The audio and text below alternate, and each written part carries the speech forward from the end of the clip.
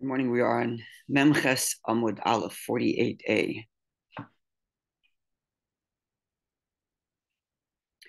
So we're learning about some of the achievements of, of Yochanan Kohen Gadol. We explained yesterday, is positioned just after the Hanukkah revolt during the Hashmonaic uh, dynasty. And he was a leader, Kohen Gadol, Nasi was successful in um, bringing together or worked difficult worked uh, very strongly to bring together Jewish practice, kind of refocus um, spiritual national attention on the temple and Torah observance. So included in that was investigating people's practices with regard to the tithe and instituted the Demai. And now the Gemara is going to tell us a number. The Mishnah actually mentioned other things that he did, and they're going to explain them. So it's uh, about uh, third down from top of the page, a bit more. The first word in the line is the gazar, and there's a colon, and then the last two words is va'afu. See it? I'm sorry. Last, the first word in the line is v'gazar. The last two words in the line is va'afu. That's where we are. There's a colon, and then it says va'afu, oh, a little, a little below a third. Yeah. Yeah. Okay. So va'afu, he too, Yochanan Kohen Gadol, bitil ha'ma'orim, abolished the waker uppers. So says the Gemara, my ma'orim, which which waker uppers did he abolish? We, we, were talking about the people who woke up the high, the priests and people who woke up the Levites for their work, but this is a different kind of. How would you say it? Waker uppers. In Yiddish, you say a veker. Guy's responsible for. Yeah. So there's the veker. There's the, in yeshiva, you had, you had a veker, the guy whose job was to bang on everybody's door to wake them up. So my ma'arim, which which uh, awakeners are these awakeners? So Omar Rachva or Rachava, Rachava said, "B'chol yom v'yom, on each and every day, shayomdim leviim al duchan." When the Levim would stand on the platform, that's the word duchan means the platform, and they would stand there and they would sing the Shir Shal Yoim, the daily song, along with the Karbanis, right? The daily the song of the day that we say every day, right? That comes from the Levites who would sing that. So first, they would say Va'omim, they would say, Uda Lama Sishan Hashem. Wake up. Why should God sleep? That's the modern, so to speak, waking up God. That's the that's the implication, which of course should raise your eyebrows. And therefore, Amar Lahen, he said to them, I believe, I'm assuming the Amar Lahen, he said to them, is, is Yochanan going, Yochanan Kohen Gadol saying to them,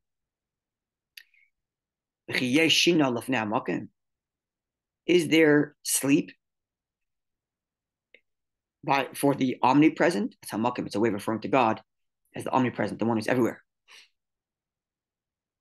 And it's appropriate to refer to God as the omnipresent in asking this question, because the the notion of the omnipresent is that God is equally present everywhere, whereas sleep implies a change.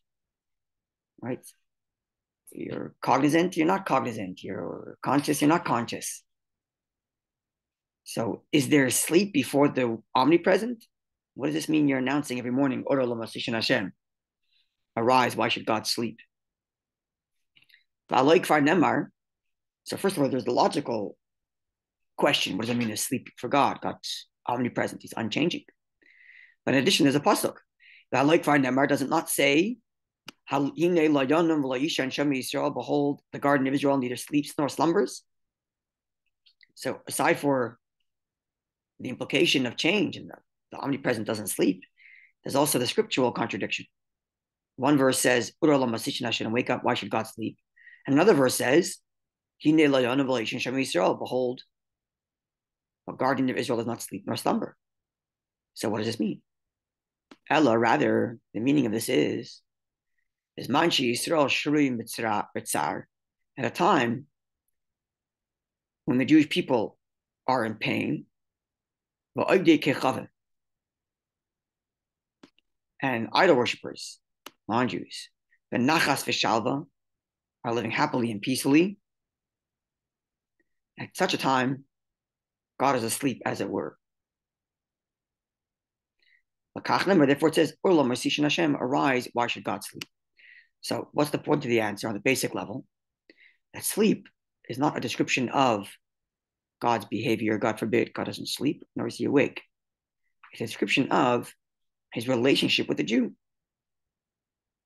And in the same way, when a person is asleep, they're completely present, but not conscious of their surroundings. So it is as if God is allowing that which he, quote, wouldn't ordinarily allow, or he's treating us as if he were sleeping in that we're feeling such pain, right? Or that's like it's not him who's sleeping, it's because of us and our actions, no? That's right. So it doesn't say when Jews misbehave, he got to sleep.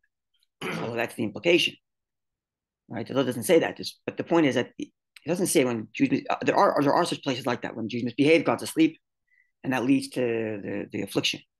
But it's more a description of the Jewish state of existence. If the Jewish Jews are stating are in a state of a depressed state, then the relationship with God is as if they're if He's present but sleeping. Right. That's the basic uh, answer here, and that's the description of our relationship with God. And therefore, we're kind of asking that the relationship change. Sorry? Just, and Yochanan Hagadol is asking them to stop asking. And it seems like, change. okay, so it seemed like he's asking them to stop saying that because no, not everyone understands the subtlety. Okay. If you remember, Yochanan Kohen Gadol, as you mentioned, comes during the time of the Chashmonaim. The Chashmonaim come right after the Hellenizers, right? That was the battle. The battle was against the Hellenization, the secularization of Jews in some ways it was a civil war. Jews against Hellen against Jews against Jews, but Hellenizers versus Jews uh, faithful to Torah observance. So and that um, helped Hellenizing Hellenization of Jews during that period helped or, or was there like the the uh, what's the word the preamble to the Sadducees that would come later.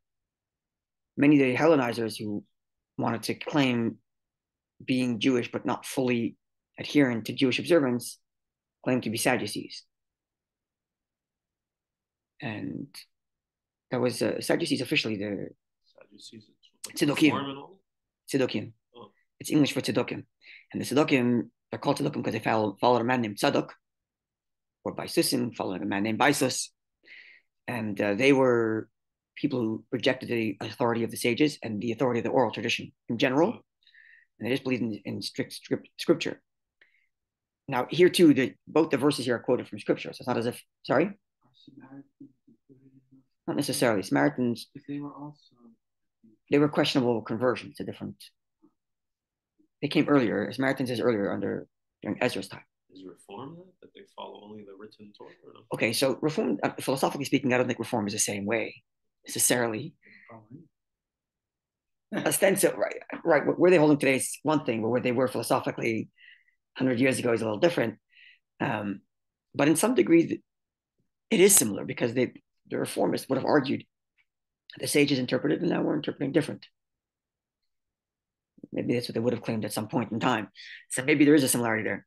But I, I think just in general, the, the, the Sadducees were, some of them were ideological, certainly, but a lot of them were just uh, hanging their hat on that because it was an easier form of Judaism and didn't require all the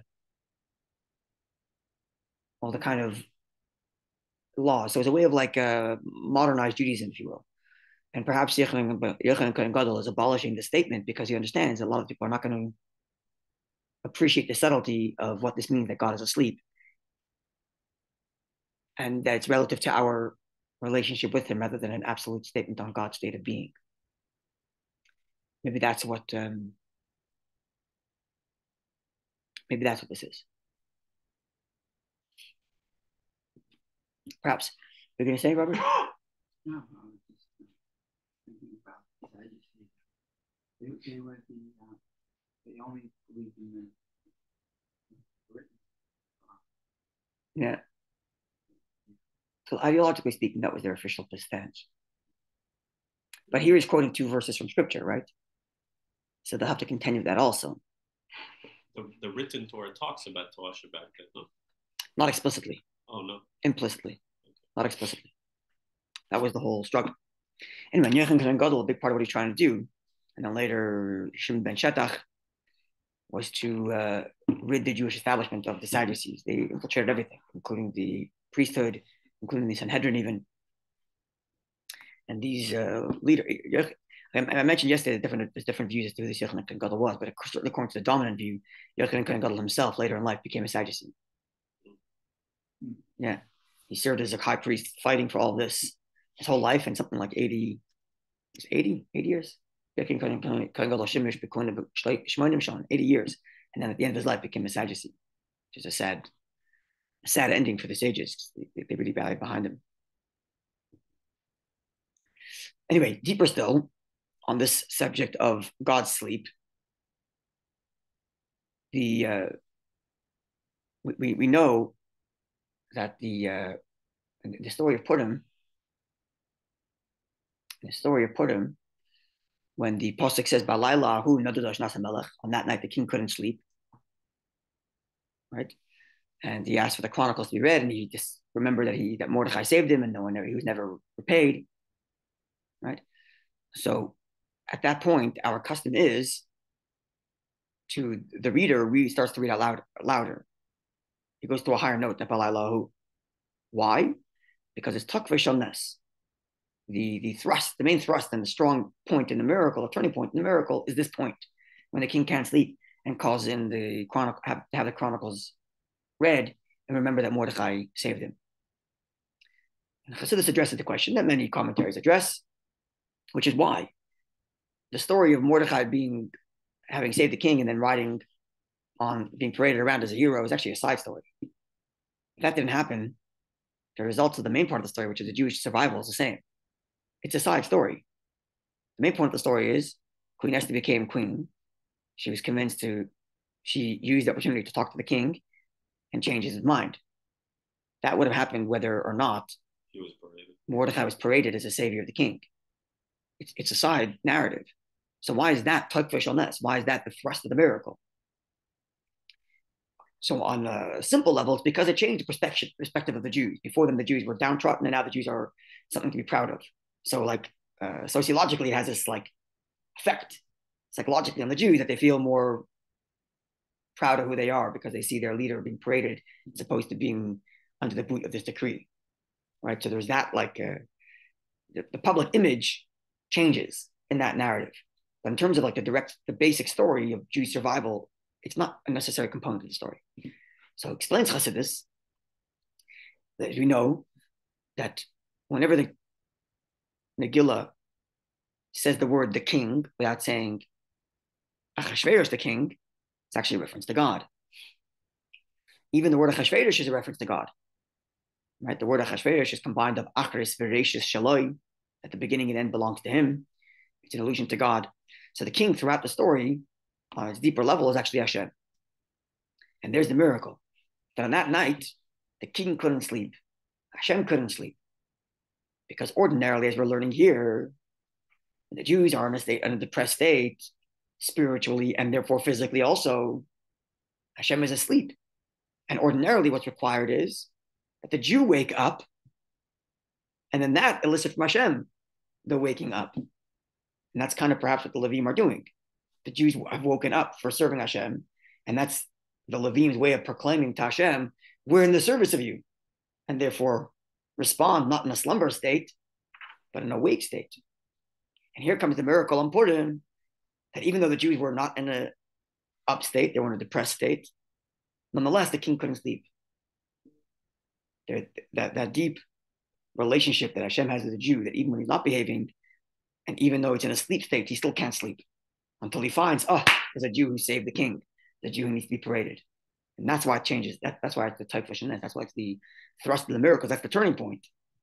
When Hashem says, even though the Jews may be not worthy, but they're my people, he can't sleep. And that's perhaps the deeper meaning here of what's happening. That the Levim are being told, or the Levim make this declaration first thing in the morning Hashem, we're here to serve you. We're awake. Right? Right? There's a famous pasuk that this quotes also. Ani Galusa. I sleep in exile. But Valibi air, my heart is still awake. Uh, uh right, the pasuk says Ani Yeshena Valibi air. We explain Ani Yeshena Galusa. I'm asleep in Golus. But Valibi air, Torah mitzvahs, my heart is still awake for Torah mitzvahs. Because even as a Jew is a state of exile, even when a Jew is in a state of negativity, there's still a part of him it's attached to Hashem. So even as Hashem is asleep, there's still a part of Hashem that's not asleep, as it were. And that's the, the great miracle that Hashem could not sleep at night. But it would seem that this subtlety was far was beyond the people of the time, and therefore Yochanan and Gadol, in trying to consolidate Jewish observance around the temple, removed this practice.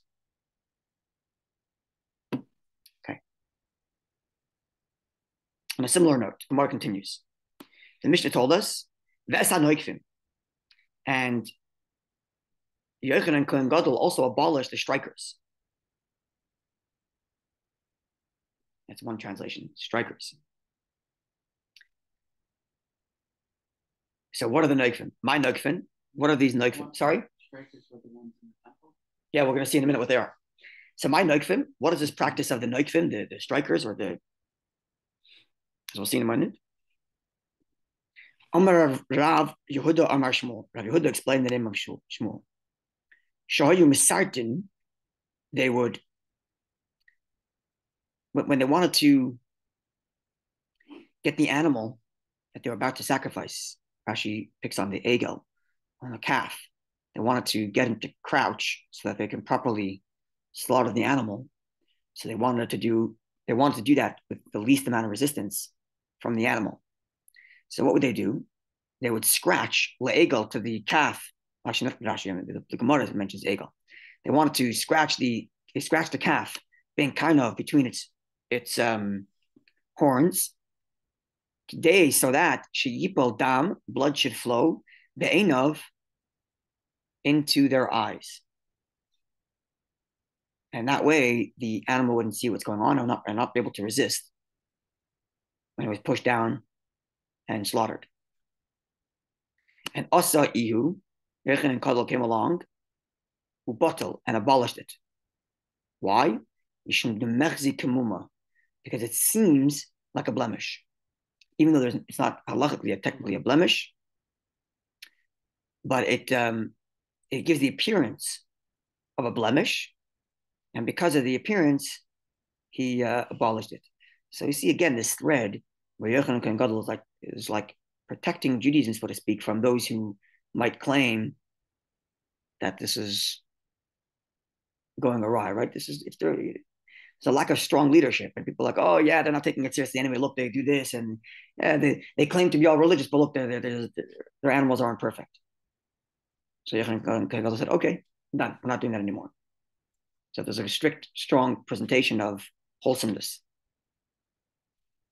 The Gemara continues, Masnisa Tana, and the Mishnah was taught that this noikfim is not scratching between the, the eyes, between the horns to get blood into the eyes, so that the animal crouches without much resistance. But rather, show you actually chaytvin actually would strike it with with um, stick. As people used to do it to idol when they would worship idol world, when they would worship idols to knock it to the ground. And Amar Lahen, so Yochanan Gadol, Gadol told them, Ad Mosai Ata Machilin Velois Lemizbeach. How long are you going to be offering? Nevelois means um, means carcasses that are unslaughtered. So a dead animal is not slaughtered, not ritually, not ritually slaughtered. Why are you offering such animals Mizbeach to the altar? The Gemara interjects and says Nevelois. What do you mean? They were they didn't strike it to death. They strike it till it fell down, and then they slaughtered it. So why are you calling it nevelis? Nevelis is a description of animals who died not by ritual slaughter. So nevelos hashachatlu, they're they're slaughtering it. Why are you calling it nevelos? And rather it should read trefos. And trefos, it, so we use the word treif to describe anything that's not kosher, but treif actually means an animal who is injured to the point that it's going to die within a year. So what are they worried about? You're striking it over the head. Shemanikov krum shemazbeach shalmoyach. Lest they puncture the skull of the animal, and if you puncture the skull of the animal, then it's eventually going to die anyway, and that's, that's the treif, and therefore ritually impure. Or that could also mean. Sorry? Yeah, or it could also be a blemish at that point.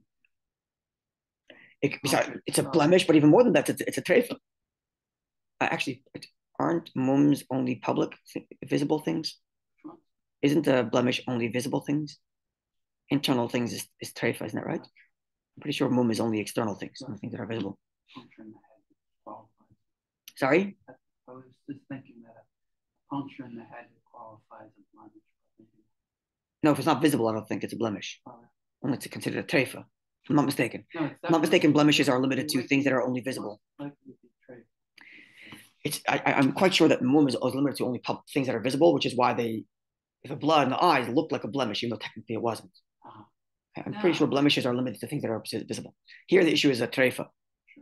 So because of this, Ahmad, he got up, Yochanan going got up, Vehiskin, and established Lahem for them, Tabois Bekarkar, rings in the ground, and that's the way they would hold the animals down. So perhaps, Yeah, it had these rings, right? Or yes, to put the neck of the animal, animal there. So we have two versions here as to what the knife are. One is they would scratch it on the head until blood would come down to its eyes, and that would make it fall to the ground. And the other is that they would bang it on the head, and that way make it come to the ground. And in both cases, Yochanan Kohen says it's going to look like a mum, or it's going to look like a, it's going to be a might be a treifa, and therefore he gave them rings. And it's like what the, they used to do to the idols. And and and that just you know the, the idol worship is yeah, at least with the hitting on the head. Marie. Yeah, yeah, right. There's again the perception again, that, that issue of perception. So perhaps on a deeper level, what this means is something like this. Perhaps we, we've discussed this before that the idea of the korban, the idea of the offering, is the on a personal level is meant to elevate the animal. Right? We all have the animal within the, the biological urges that we have as human beings, and the idea of the korban is to elevate that. That our biological human urges, our animalistic urges, our animal soul in the language of Tanya, be elevated and offered in the temple. So I eat, yes, but I eat for Hashem. I sleep, yes, I sleep for Hashem. I have a family, yes, but I have a family for Hashem. So the regular human animalistic tendencies, but they're offered to Hashem. And the question is, now, now the act of elevation is in the ritual slaughtering, is in the shechita. That's the moment. As the, the language in the Gemara is, Ein v'shachat elo mashach. Shechita must be done with drawing. Right? The, physically the, the act, the you can't press the knife down on the animal or hack at it. You have to draw, move from one end to the other. That's the halacha. So explains Chassidus. Mashach means to draw it in. You have to draw the animal in that it be elevated. The animal soul, as opposed to hack at it, meaning don't fast, but eat for Hashem. Right? Fasting would be to hack at your animal soul. To draw it in to elevate it, to eat fresh Hashem. Now, the question is, how do you draw them in? How do you draw the animal soul in? So the old way used to be strike it. To look at yourself in the mirror and say, you're terrible, you're selfish, you're a horrible person, until he submits and says, okay, we have to serve Hashem. Right? Came Yochanan ben Zakkai and said, came, I'm sorry, Yochanan Gadol and said, there's a new time, there's a new generation now. We need to ring them in. Have to be excited about, uh, in English, you know, bring them in. Taba, something that's um, something that's more uh, attractive to the animal. Instead of looking in the mirror and saying, you're a terrible, horrible person because you're full, you're all selfish, look in the mirror and say, the most beautiful thing to do is to serve Hashem. The most beautiful way to eat is to serve Hashem. The most beautiful way to have a family. It's the most beautiful way to live. Drawing it in by ringing it in rather than by banging it on the head till it submits to being elevated. Maybe that's the maybe that's what's uh, underlying this on a, on a, on a spiritual personal level.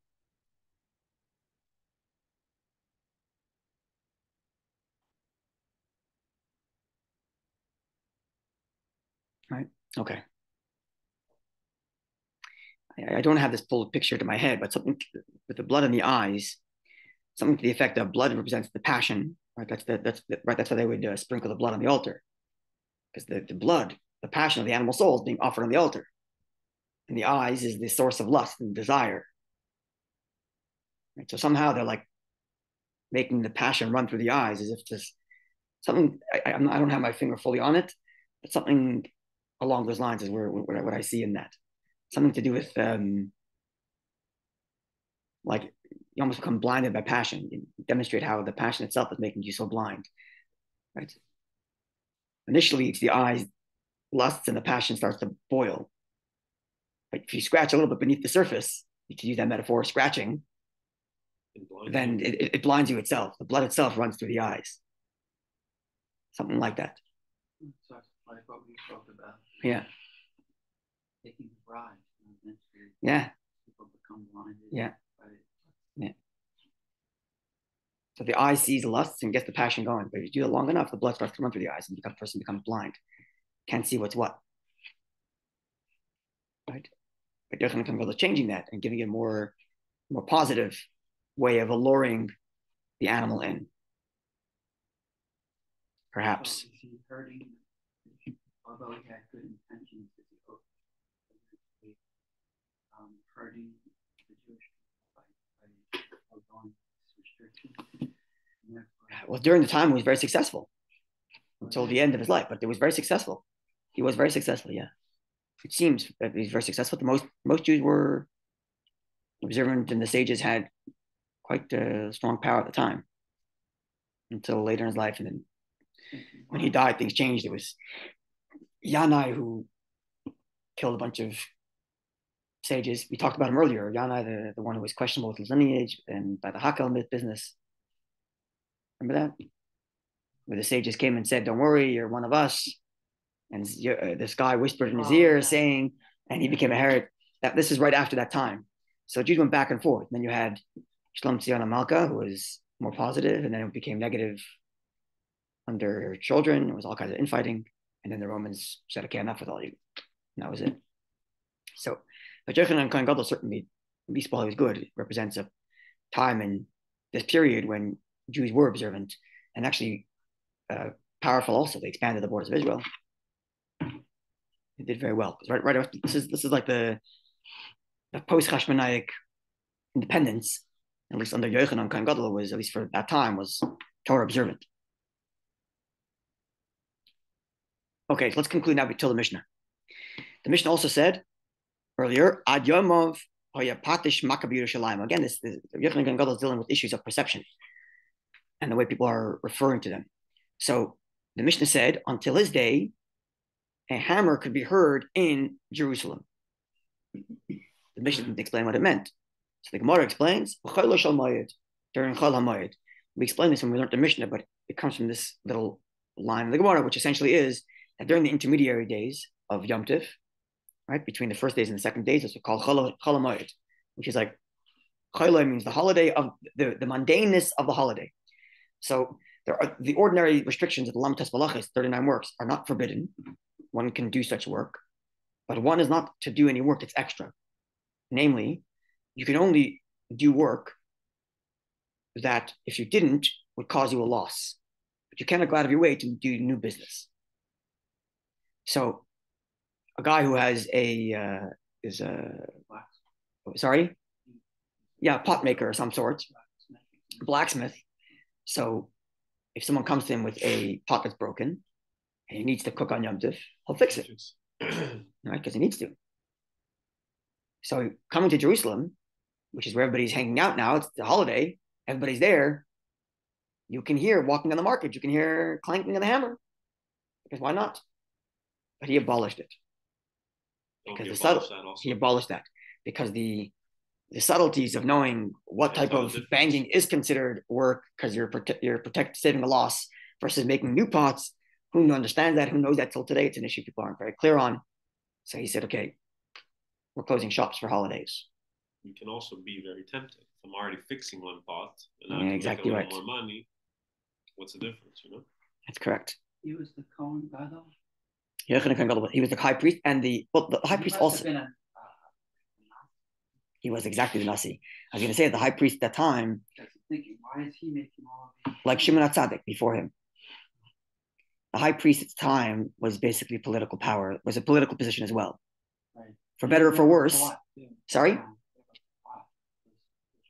Sometimes they were bought, sometimes they were righteous, sometimes the Sadducees bought their way in, especially under the Romans later. But this is not during Roman occupation. No, no, This is between Greek and Roman occupation. before the Hasmonean. This is during the Hasmonean. Before they became. The corruption already begins already at this point. The corruption is beginning, but yeah, But he had the authority. yeah, yes, yes. So the high priest did have have political power as well, as did uh, was it Eliezer Eliezer Hyrcanus, was it, and Shimon HaTzadik and others. They were the Nasi as well. They had political power as well. Yeah, which isn't which isn't necessarily a good thing, by the way. It's supposed to be a split. There was. There's supposed to be separation of power. Sanhedrin does exist at this time. They weren't. They they They didn't have. they didn't have political power, like depending on when, depending when. Halakhic rulings and stuff. So they were making halachic rulings. Doesn't necessarily mean that everybody was following them. They didn't necessarily have the, the ability. In other words, So the was more of Sanhedrin, the- They would listen to. the Sanhedrin didn't go around here investigating maaser. Yechon Gadol did, even though there was a functioning Sanhedrin here. Yosef Ben Seems like the lines of blood. when Ataya Bailey, somewhere around that time. Sorry, Seems like the lines of. of The proper- and- and the proper separation of power. blur. The proper separation of power as Torah, as Torah wants it, which is king, high priest, Sanhedrin. Three different branches of government: the executive, the, the judiciary, and the legislative. The Sanhedrin, judiciary, and Senate legislative. The executive and the ritual. He's being all There are three. three, two of them for sure.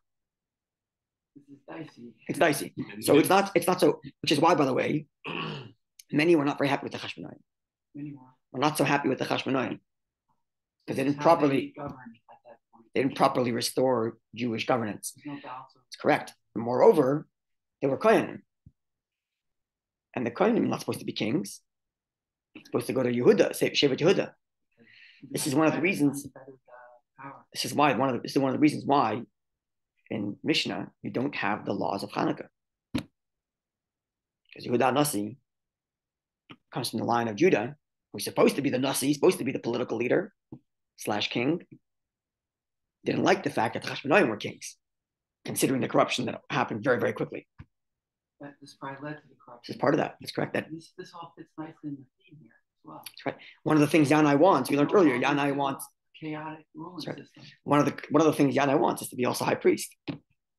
One of the things he wants to also be high priest.